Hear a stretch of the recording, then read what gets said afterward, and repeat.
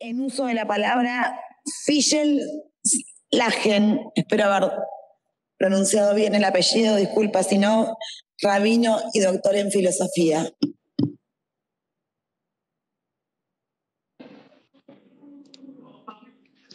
Sí, ¿se me escucha bien? Perfecto. Ah, muy bien. Muy buenas tardes a todos y a todas. Muchas gracias por invitarme.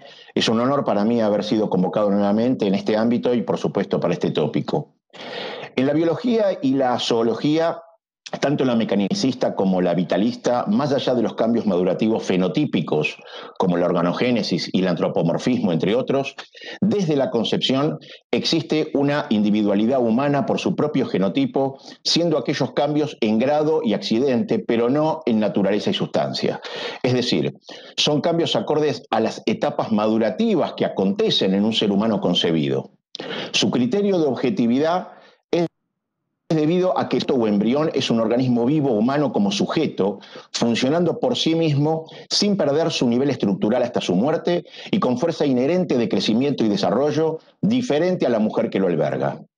Es un ser humano actual, no potencial, y todo ello respaldado por la actual bibliografía embriológica y genética.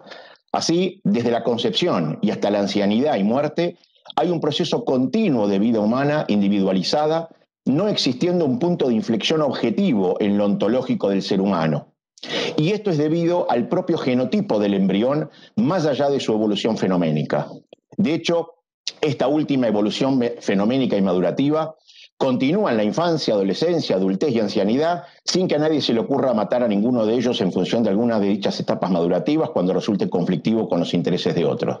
Luego, Dado este reconocimiento genotípico fundacional y constitutivo del ser humano, la bioética, ya sea deóntica, principalista o personalista, responde negativa y contundentemente a la pregunta sobre la facultad que tiene un ser humano nacido con categoría jurídica de persona, para matar a otro ser humano concebido por relaciones sexuales consentidas, pero cuya concepción no fue deseada y resulta conflictiva con los intereses de sus genitores. Así, legalizar la matanza de un ser humano vivo que no amenaza la vida de otro, basándose en criterios fenoménicos o determinadas semanas post-concepción, resulta antojadizo careciendo de fundamento racional, científico, moral y bioético, por no haber ningún cambio en la ontogénesis de dicha entidad como ser humano.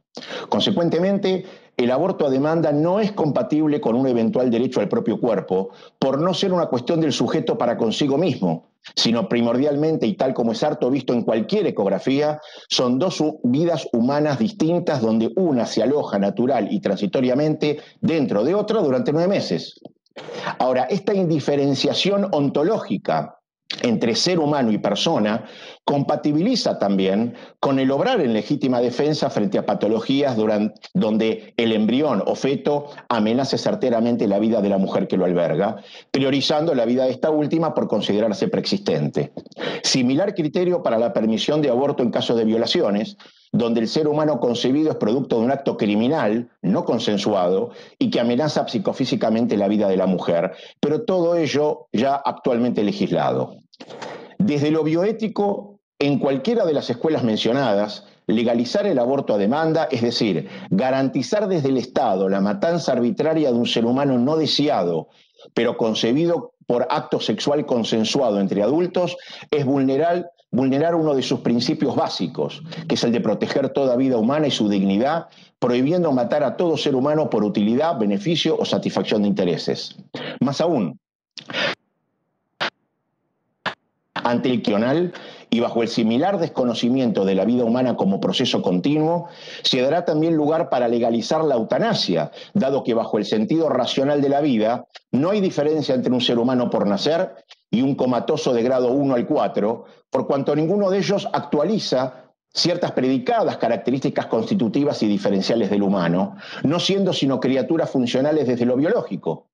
Pero a diferencia del comatoso, el embrión sí tiene el potencial de actualizar todas y cada una de las características ausentes en aquel, conforme avance las etapas de su, natural desarrollo concluyendo así en una contradictoria, aunque mayor racionalidad, para matar a un comatoso que a un feto. Luego, desde lo bioético, nuevamente aquí se patentiza no solo lo infundado, sino lo peligroso de los selectivos criterios madurativos o funcionales para determinar arbitrariamente la legalización de la matanza de un ser humano por ser conflictivo con los intereses de otro. Y ello ocurre cuando se vulnera el principio de protección y dignidad de la vida humana. Desde la macroética, la legalización del aborto a demanda es otro síntoma de un hombre encorvado sobre sí mismo, una mismidad donde el interés y el deseo del individuo es prioridad, tergiversando mediante fórmulas retóricas la manifiesta y patente realidad con el fin de no obstaculizar su arbitrariedad y antojo, despojándose de su responsabilidad a una costa de la vida ajena, cosificándola.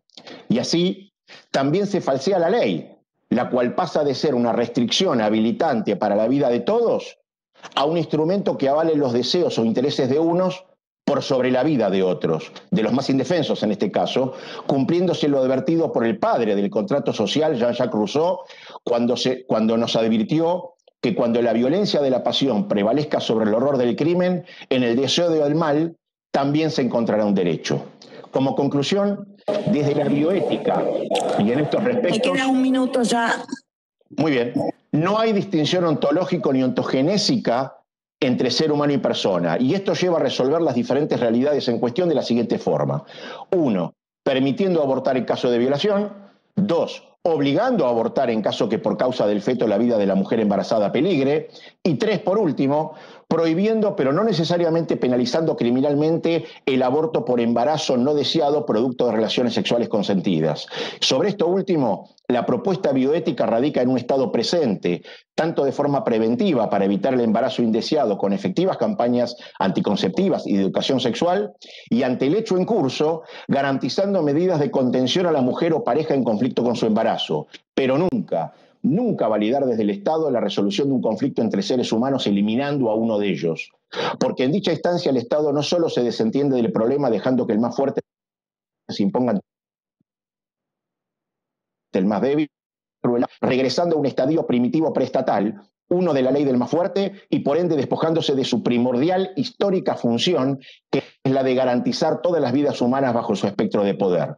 Por todo ello, señoras y señores legisladores, desde la bioética no acuerdo con este proyecto de ley, dado que lejos de resolver el problema, lo agrava en todo sentido. Lo llamo resolver conflictos con herramientas del siglo XXI, incluyendo a todos, con responsabilidad y sin eliminar a nadie a demanda. Muchísimas gracias. Gracias.